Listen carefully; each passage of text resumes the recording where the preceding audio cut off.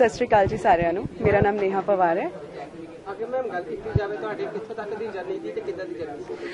ਮੇਰੀ ਜਰਨੀ ਬਹੁਤ ਵਧੀਆ ਰਿਹਾ ਔਰ ਮੈਂ ਆਪਣੇ ਐਕਚੁਅਲੀ ਕੈਰੀਅਰ ਦੀ ਸ਼ੁਰੂਆਤ ਕੀਤੀ ਸੀ ਹਿੰਦੀ ਫਿਲਮਾਂ ਤੋਂ, ਪਰਾਂਠੇ ਵਾਲੀ ਗਲੀ ਥੋੜਾ ਲੁਤਫ ਥੋੜਾ ਇਸ਼ਕ ਉਸ ਤੋਂ ਬਾਅਦ ਮੈਂ ਇੱਕ ਸਾਊਥ ਦੀ ਫਿਲਮ ਵੀ ਕੀਤੀ।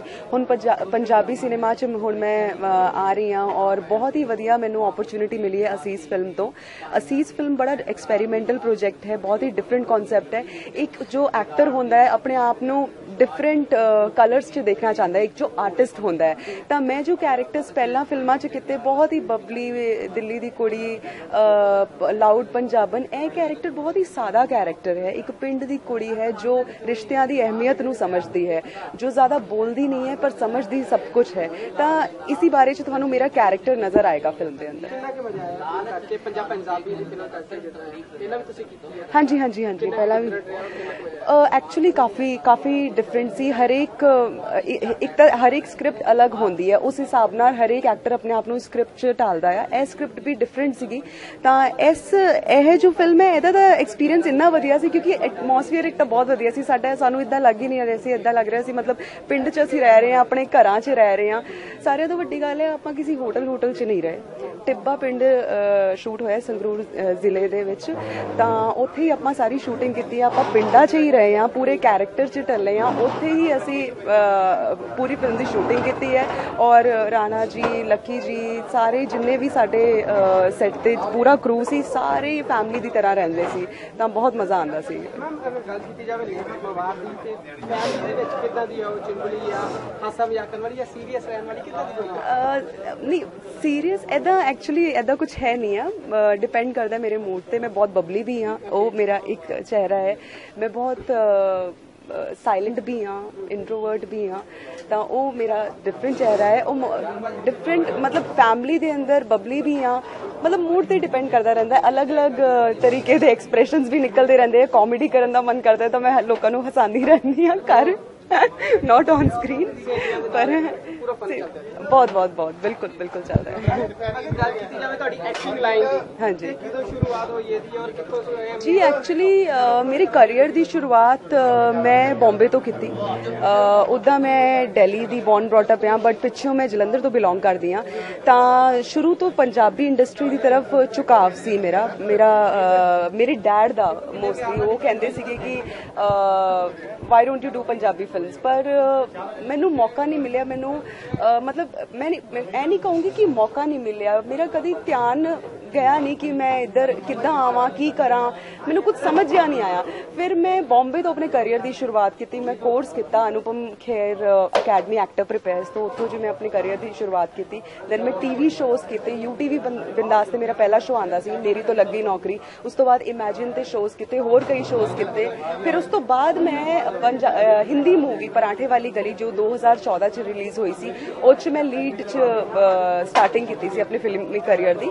ਉਸ ਤੋਂ ਬਾਅਦ ਥੋੜਾ ਲੁਕਸ ਥੋੜਾ ਇਸ਼ਕ, ਫਿਰ ਇੱਕ ਸਾਊਥ ਦੀ ਫਿਲਮ ਵੀ ਕੀਤੀ ਆ ਜੀ ਮੈਂ, ਉਹ ਤਮਿਲ ਮੂਵੀ ਆ, ਉਹ ਬਿਲਕੁਲ ਹੀ ਡਿਫਰੈਂਟ ਲੈਂਗੁਏਜ ਹੈ ਇਹ ਤਾਂ ਆਪਣੀ ਮਾਂ ਬੋਲੀ ਆ। ਤਾਂ ਉਹ ਵੀ ਮੈਂ ਫਿਲਮ ਕੀਤੀ ਆ ਤਾਂ ਹੁਣ ਫਿਰ ਪੰਜਾਬੀ ਦਾ ਸਫ਼ਰ ਸ਼ੁਰੂ ਹੋ ਗਿਆ ਥੋੜੇ ਟਾਈਮ ਤੋਂ। ਤਮਿਲ ਦੀ ਫਿਲਮ ਕੀਤੀ ਹੈ ਕਿੰਨਾ ਕਿ ਟਫ ਹੈ? ਤਮਿਲ ਦੇ ਵਿੱਚ ਲੈਂਗੁਏਜ ਐਕਚੁਅਲੀ ਨਹੀਂ ਡਬਿੰਗ ਤਾਂ ਹੁੰਦੀ ਆ ਆਫ ਕੋਰਸ ਕਿਉਂਕਿ ਉਹ ਸਾਡੀ ਲੈਂਗੁਏਜ ਖੁਦ ਦੀ ਨਹੀਂ ਹੈਗੀ ਆ। ਪਰ ਡਾਇਲੌਗਸ ਤਾਂ ਸਾਨੂੰ ਬੋਲਨੇ ਪੈਂਦੇ ਆ। ਪ੍ਰੋਮਪਟਿੰਗ ਹੁੰਦੀ ਹੈ ਪਰ ਡਾਇਲੌਗਸ ਕਿਉਂਕਿ ਅਗਰ ਤੁਸੀਂ ਤੁਹਾਡਾ ਲਿਪ ਸਿੰਕ ਨਹੀਂ ਹੋਏਗਾ ਤਾਂ ਉਹ ਬੜਾ ਵੀਅਰਡ ਜਿਹਾ ਨਜ਼ਰ ਆਉਂਦਾ ਹੈ। ਕਹਿਣ ਵਾਲੀ ਗੱਲਾਂ ਆ ਲੋਕ ਕਹਿੰਦੇ ਆ ਕਿ ਨਹੀਂ ਨਹੀਂ ਨਹੀਂ 1 2 3 4 5 6 ਬੁਲਵਾਤੇ ਆ। ਐਦਾਂ ਦਾ ਕੁਝ ਵੀ ਨਹੀਂ ਹੈਗਾ। ਤੁਹਾਨੂੰ ਡਾਇਲੌਗ ਤਾਂ ਬੋਲਨੇ ਪੈਂਦੇ ਆ ਉਹ ਸਪੋਰਟ ਪੂਰਾ ਕਰਦੇ ਆ ਪ੍ਰੋਮਪਟਿੰਗ ਕਰਦੇ ਆ। ਮੈਨੂੰ ਲੱਗਦਾ ਹੈ ਕਿ ਕੋਈ ਵੀ ਲੈਂਗੁਏਜ ਹੋਵੇ ਭਾਵੇਂ ਪੰਜਾਬੀ ਹੈ ਤੁਹਾਡੀ ਲੈਂਗੁਏਜ ਨਹੀਂ ਹੋਵੇ ਚਾਹੇ ਹਿੰਦੀ ਹੈ ਤੁਹਾਡੀ ਲੈਂਗੁਏਜ ਨਹੀਂ ਹੋਵੇ ਹੁਣ ਅ, ਚੇਨਈ 'ਚ ਲੋਕ ਹਿੰਦੀ ਵੀ ਨਹੀਂ ਬੋਲਦੇ ਉੱਥੇ। ਦੇ ਓਨਲੀ ਸਪੀਕ ਤਮਿਲ ਔਰ ਇੰਗਲਿਸ਼ ਤਾਂ ਇਹ ਕੈਰੈਕਟਰ ਨੂੰ ਕੈਰੀ ਕਰਨਾ ਹੁੰਦਾ ਹੈ ਬੇਸਿਕਲੀ ਅਗਰ ਤੁਸੀਂ ਕੈਰੈਕਟਰ ਨੂੰ ਸਕ੍ਰਿਪਟ ਦੇ ਹਿਸਾਬ ਨਾਲ ਕੈਰੀ ਕਰ ਲੈਂਦੇ ਹੋ ਆਪਣੇ ਆਪ ਨੂੰ ਉਸ ਵਿੱਚ ਚੀਜ਼ ਵਿੱਚ ਢਾਲ ਲੈਂਦੇ ਹੋ ਤਾਂ ਲੈਂਗੁਏਜ ਕੋਈ ਮੈਟਰ ਨਹੀਂ ਕਰਦੀ। ਅਗਰ ਗੱਲ ਕੀਤੀ ਜਾਵੇ ਤੁਹਾਡੀ ਫੈਮਿਲੀ ਦੀ ਤੇ ਜਦੋਂ ਫੈਮਿਲੀ ਨੂੰ ਪਤਾ ਲੱਗਾ ਕਿ ਸਾਡੀ ਜਿਹੜੀ ਕੁੜੀ ਆ ਉਹ ਫਿਲਮਾਂ 'ਚ ਜਾ ਰਹੀ ਹੈ ਜਾਂ ਐਕਟਿੰਗ 'ਚ ਜਾ ਰਹੀ ਆ ਕਿਉਂਕਿ ਪੰਜਾਬੀ ਆਮ ਤੌਰ ਤੇ ਜਿਹੜਾ ਜਦੋਂ ਐਕਟਿੰਗ ਕਰ ਲੈਂਦਾ ਤੇ ਪਹਿਲਾਂ ਫੈਮਿਲੀ ਪੁੱਛਦੀ ਹੈ ਕਿ ਕੁੜੀ ਹੋ ਕੇ ਤੂੰ ਕਿੱਦਾਂ ਕਰਦੀ ਹੈ ਤੁਹਾਨੂੰ ਇਹਦਾ ਮੁਸ਼ਕਿਲ ਜੀ ਅ, ਵੈਸੇ ਤਾਂ ਮੈਂ ਖੁਦ ਸਿੱਖ ਫੈਮਿਲੀ ਤੋਂ ਹਾਂ ਅਸੀਂ ਰਾਜਪੂਤ ਸਿੱਖ ਹਾਂ। ਹੁਣ ਕਈ ਮੇਰਾ ਨਾਮ ਹੈਗਾ ਨੇਹਾ ਪਵਾਰ ਤਾਂ ਕਈ ਲੋਕ ਮੈਨੂੰ ਕਹਿੰਦੇ ਆ ਬੰਬੇ 'ਚ ਤੁਸੀਂ ਮਰਾਠੀ ਹੋ ਜੀ? ਕਿਉਂਕਿ ਰਾਜਪੂਤਾਂ 'ਚ ਉਹ ਮਰਾਠੀ ਵੀ ਆਉਂਦੇ ਆ ਉੱਥੇ ਪਵਾਰਸ 'ਚ ਤਾਂ ਪੰਜਾਬੀ ਵੀ ਆਉਂਦੇ ਆ। ਤਾਂ ਹੁਣ ਤੁਹਾਡਾ ਕੁਐਸਚਨ ਹੀ ਭੁੱਲ ਗਈ ਮੈਂ ਤੁਸੀਂ ਕੀ ਪੁੱਛਿਆ ਸੀ? ਫੈਮਿਲੀ ਦੇ ਵਿੱਚ ਜਿਹੜਾ ਹੈ ਹਾਂ ਸਹੀ ਤਾਂ ਫੈਮਿਲੀ ਦੇ ਮੇਰੀ ਮੰਮਾ ਪਾਪਾ ਜੋ ਹੈਗੇ ਮੇਰੀ ਮੰਮੀ ਖੁਦ ਵਰਕਿੰਗ ਲੇਡੀ ਹੈ she is working in Delhi high court ਤਾਂ ਮੇਰੇ ਡੈਡ ਉਹਨਾਂ ਮੇਰੇ ਤੋਂ ਜ਼ਿਆਦਾ ਉਹਨਾਂ ਨੂੰ ਸ਼ੌਕ ਸੀਗਾ ਕਿ ਮੈਂ ਫਿਲਮਾਂ 'ਚ ਜਾਵਾਂ। ਮੇਰਾ ਮਮ ਦਾ ਜੋ ਹੈ, ਬਹੁਤ ਬਹੁਤ ਬਹੁਤ ਸਪੋਰਟ ਰਿਹਾ ਹੈ। ਉਹ ਆਪਣਾ ਜਦੋਂ ਕੋਟਾਂ ਦਾ ਕੰਮ ਬਹੁਤ ਜ਼ਿਆਦਾ ਔਖਾ ਹੈ ਕੋਰਟਸ 'ਚ ਕੰਮ ਕਰਨਾ ਬਹੁਤ ਔਖਾ ਹੈ। ਉਹ ਛੁੱਟੀ ਲੈ ਕੇ ਆਉਂਦੇ ਸੀ, ਮੈਂ ਛੋਟੀ ਜੀ ਸੀ, ਮੈਂ ਆਪਣੇ ਕੈਰੀਅਰ ਦੀ ਸ਼ੁਰੂਆਤ ਕੀਤੀ ਸੀ ਤਾਂ ਛੁੱਟੀ ਲੈ ਕੇ ਆਉਂਦੇ ਸੀ, ਮੇਰੇ ਨਾਲ ਆਡੀਸ਼ਨਸ ਤੇ ਜਾਂਦੇ ਸੀ। ਬਹੁਤ ਸਪੋਰਟ ਰਿਹਾ ਹੈ, ਮਤਲਬ ਬਹੁਤ ਜ਼ਿਆਦਾ ਸਪੋਰਟ ਰਿਹਾ ਹੈ ਔਰ ਇਸ ਫਿਲਮ 'ਚ ਵੀ ਆਪਾਂ ਮਾਂ ਦੀ ਅਸੀਸ ਦਿਖਾਈ ਹੈ। ਅਸੀਸ ਦਾ ਸਾਡੀ ਟੈਗ ਲਾਈਨ ਹੈ ਆਈ ਲਵ ਮਾਈ ਮਦਰ ਤਾਂ ਕਿਸ ਮੇਰੇ ਨਾਲ ਇਹ ਜੁੜੀ ਜਿਹੀ ਫਿਲਮ ਲੱਗਦੀ ਆ ਮੈਨੂੰ। ਕਿੰਨਾ ਕਿ ਟੱਪ ਰਿਹਾ ਜਦੋਂ ਪਹਿਲਾ ਰੋਲ ਲਿਆ ਜਾਂ ਪਹਿਲਾ ਰੋਲ ਜਦੋਂ ਤੁਹਾਨੂੰ ਫਿਲਮ ਦੇ ਮਿਲਿਆ ਕਿ ਫਿਲਮ 'ਚ ਮਿਲਿਆ ਮੈਨੂੰ ਪਹਿਲਾ ਰੋਲ ਮਿਲਿਆ ਸੀ ਸੀਰੀਅਲ 'ਚ। ਮੈਂ ਕੀਤਾ ਸੀ ਯੂਟੀਵੀ ਬਿੰਦਾਸ ਦਾ ਸੀਰੀਅਲ ਮੇਰੀ ਤੋਂ ਲੱਗੀ ਨੌਕਰੀ। ਤਾਂ ਮੈਂ ਬਹੁਤ ਗਾਲਾਂ ਖਾਧੀ ਆਪਣੇ ਡਾਇਰੈਕਟਰ ਤੋਂ। ਮੈਂ ਇਹ ਨਹੀਂ ਕਹੂੰਗੀ ਕਿ ਆਈ ਵਾਸ ਵੈਰੀ ਪਰਫੈਕਟ ਆ। ਮੈਨੂੰ, ਮੈਂ ਬਹੁਤ ਰੀਟੇਕ ਲੈਂਦੀ ਸੀ। ਪਰ ਕਹਿੰਦੇ ਆ ਕਿ ਐਕਸਪੀਰੀਅੰਸ ਦੇ ਨਾਲ ਹੀ ਤੁਸੀਂ ਹਮੇਸ਼ਾ ਖੁੱਲ ਕੇ ਅੱਗੇ ਆਉਂਦੇ ਹੋ। ਕੋਈ ਵੀ ਆਪਣੀ ਮਾਂ ਦੇ ਢਿੱਡ ਤੋਂ ਸਿੱਖ ਕੇ ਨਹੀਂ ਆਂਦਾ ਸਾਰੇ ਲੋਕ ਇੱਥੇ ਹੀ ਆ ਕੇ ਸਿੱਖਦੇ ਆ। ਮੈਂ ਵੀ ਸਿੱਖਿਆ ਆ। ਬਹੁਤ ਐਕਸਪੀਰੀਅੰਸ ਹੋਇਆ ਆ। ਤਾਂ ਹੁਣ ਬਹੁਤ ਵਧੀਆ ਚੱਲ ਰਿਹਾ। ਮੈਂ ਫਿਲਮਾਂ ਦੇਖਦੀ ਆ ਬਹੁਤ ਵਧੀਆ ਡਿਫਰੈਂਟ ਫਿਲਮਾਂ ਦੇਖਦੀ ਆ ਡਿਫਰੈਂਟ ਸਿਨੇਮਾ ਦੇਖਦੀ ਆ ਮੈਨੂੰ ਬਹੁਤ ਅੱਛਾ ਲੱਗਦਾ ਹੈ। ਉਸ ਤੋਂ ਇਲਾਵਾ ਘੁੰਮਣਾ ਫਿਰਨਾ ਗਾਣਾ ਬਹੁਤ ਅੱਛਾ ਲੱਗਦਾ ਹੈ। ਪਰ ਸਿੰਗਰ ਨਹੀਂ ਆ ਮੈਂ। ਸਿੰਗਰ ਨਹੀਂ ਆ ਕਲੀਅਰ ਕਰ ਰਹੀ ਆ ਪਰ ਉਦਾਂ ਹੀ ਗਾਣਾ ਬਹੁਤ ਅੱਛਾ ਲੱਗਦਾ ਹੌਬੀ ਹੈ। ਜਿਹੜਾ ਹੈ ਤੁਹਾਨੂੰ ਬਹੁਤ ਪਸੰਦ ਹੋਵੇ ਥੋੜਾ ਗੁੰਗਣਾ ਦਿਓ। ਹਾਏ ਇਹ ਤਾਂ ਤੁਸੀਂ ਬੜਾ ਔਖਾ ਜਿਹਾ ਕੰਮ ਦਿੱਤਾ ਮੈਨੂੰ। ਇਹ ਪੰਜਾਬੀ ਤਾਂ ਜੀ ਇਹੀ ਆ। ਮਨ ਹੋ ਜਾਂਦਾ ਤੂੜਾ ਚੱਟੀ ਦਾ। ਤੇਰੀ ਨਲੀ ਹੋਈ ਰੈਲੀ ਦੇਖ ਕੇ ਮੁੰਡਾ ਤੂੰ ਹੈ ਪਸੰਦ ਮੁੰਡਿਆ, ਮੁਖ ਮੋੜਦਾ ਤੂੰ ਵੈਲੀ ਵੇਖ ਕੇ। ਆਉਂਦੀ ਨਾ ਬਲਤੀ ਸੁਪਨੇ ਤੇ ਨਾ ਕੋਈ ਫਿਰਾਰੀ ਆਉਂਦੀ ਏ। ਮੇਰੇ ਸੁਪਨੇ ਦੇ ਵਿੱਚ ਸੋਹਣਿਆ, ਬਸ ਤੇਰੀ ਸਰਦਾਰੀ ਆਉਂਦੀ ਏ। ਮੇਰੇ ਸੁਪਨੇ ਦੇ ਵਿੱਚ ਸੋਹਣਿਆ, ਬਸ ਤੇਰੀ ਸਰਦਾਰੀ ਆਉਂਦੀ ਏ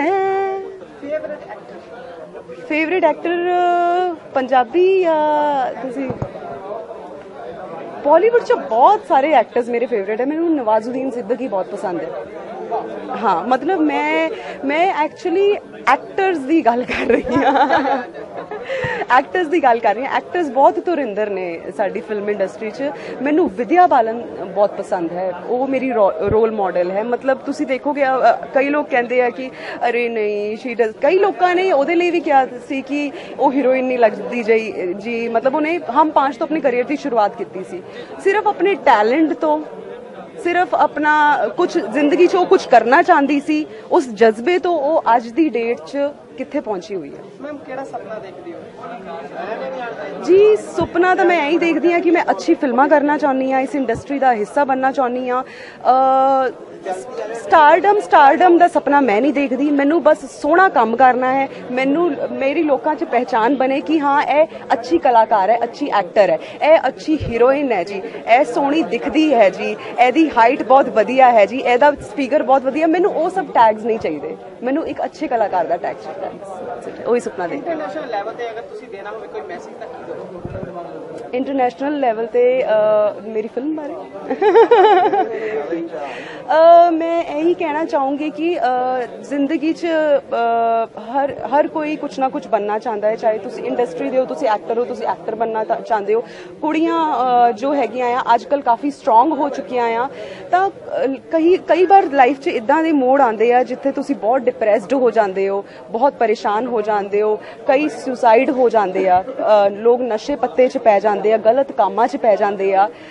ਉਹ ਸਭ ਚੀਜ਼ ਨਹੀਂ ਕਰਨੀ ਚਾਹੀਦੀ। ਉਹ ਐਕਚੁਅਲੀ ਮੈਂ ਕਹੂੰਗੀ ਵੀ ਨਹੀਂ ਕਿਉਂਕਿ ਡਿਪਰੈਸ਼ਨ ਲੋਕਾਂ ਨੂੰ ਮਾਰਦਾ ਹੈ। ਮਤਲਬ ਇਹ ਨਹੀਂ ਕਈ ਲੋਕ ਸੋਚਦੇ ਆ ਲਾਈਫ ਇੱਥੇ ਖਤਮ ਹੋ ਗਈ ਹੈ। ਲਾਈਫ ਬਹੁਤ ਸੋਹਣੀ ਹੈ। ਲਾਈਫ ਇਜ਼ ਵੈਰੀ ਬਿਊਟੀਫੁਲ ਹਰੇਕ ਮੂਮੈਂਟ ਆਪਣੀ ਫੈਮਿਲੀ ਦੇ ਨਾਲ ਮਿਲ ਜੁਲ ਕੇ ਰਹੋ, ਪਿਆਰ ਨਾਲ ਲਓ ਆਪਣੀ ਮਾਂ ਦੀਆਂ ਅਸੀਸਾਂ ਲਓ, ਆਪਣੇ ਡੈਡ ਦੀਆਂ ਅਸੀਸਾਂ ਲਓ, ਉਹਨਾਂ ਦੀ ਅਸੀਸਾਂ ਹਮੇਸ਼ਾ ਤੁਮ ਔਰ ਕਿਸੇ ਲਈ ਲੋਕ ਸੁਸਾਈਡ ਕਰ ਲੈਂਦੇ ਆ, ਆਪਣੇ ਬॉयਫ੍ਰੈਂਡ ਲਈ ਜੀ ਸੁਸਾਈਡ ਕਰ ਲਿਆ, ਕਿਸੇ ਨੇ ਸੁਸਾਈਡ ਨੋਟ ਲਿਖਿਆ ਸੁਸਾਈਡ ਕਰ ਲਿਆ ਜੀ, ਨਸ਼ੇ ਪੱਤਿਆਂ 'ਚ ਪੈ ਗਏ। ਕਦੀ ਮੁੜ ਕੇ ਕੇ ਦੇਖੋ ਪਿੱਛੇ, ਜਿਨ੍ਹਾਂ ਨੇ ਤੁਹਾਨੂੰ ਜੰਮਿਆ ਹੈ, ਜਿਨ੍ਹਾਂ ਦੇ ਤੁਸੀਂ ਅੱਧੀ ਤੋਂ ਜ਼ਿਆਦਾ ਜ਼ਿੰਦਗੀ ਤੁਸੀਂ ਆਪਣੇ ਘਰ ਬਿਤਾਈ ਹੈ, ਆਪਣੇ ਲੋਕਾਂ ਦੇ ਵਿੱਚ ਬਿਤਾਈ ਹੈ, ਉਹਨਾਂ ਦਾ ਕੀ ਕਸੂਰ ਹੈ? ਉਹ ਪਿਆਰ ਲੈਣਾ ਸਿੱਖੋ ਔਰ ਉਹਨਾਂ ਨੂੰ ਪਿਆਰ ਦੇਣਾ ਸਿੱਖੋ, ਮੈਂ ਇਹੀ ਕਹਿਣਾ ਚਾਹੁੰਦਾ ਥੈਂਕ